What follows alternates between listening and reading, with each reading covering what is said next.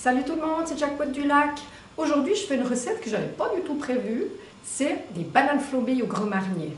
c'est trop bon. Alors, si vous avez des enfants, on remplace le grand marnier par du jus d'orange. En vin de cuisine, c'est super vite fait. Et puis, c'est drôlement bon. Avec de la glace vanille. Ce qu'il nous faut pour cette recette, alors j'avais deux bananes très mûres, c'est pour ça que j'ai décidé de faire des bananes flambées. Il faut du sucre, du beurre, du grand marnier, une poêle et un briquet. Pour commencer, on met le sucre dans la poêle, à feu pas trop fort. Alors le sucre, c'est la quantité qu'on veut. Hein. Et puis on laisse prendre un peu couleur. Comme ça. Là, on voit que mon sucre commence à caraméliser. Il ne faut pas trop le toucher, hein. Minimum. On ramène un peu les petits grains grains au milieu.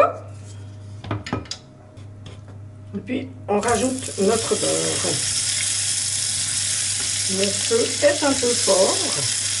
Et on fait fondre le beurre gentiment.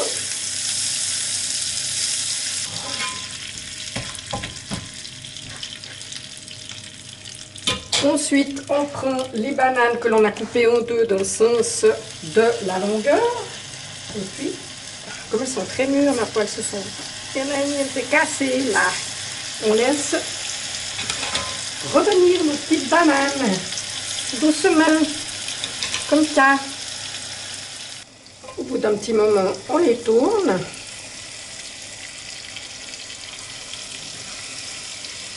Sans les casser. Ceci était déjà cassé, c'est pas ma faute.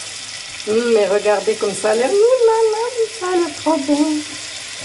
On laisse encore un petit moment pour pas que le feu soit trop trop chaud. Pendant que ça chauffe gentiment, on met un peu de grand marnier dans une casserole. On va faire chauffer ce grand marnier. J'y vais tout à l'arrache. Hein. Vous mettez les quantités que vous voulez. Mon grand marnier a cuit, je le verse sur les bananes. On va flamber, en dehors de la haute ventilation, bien sûr. Et voilà.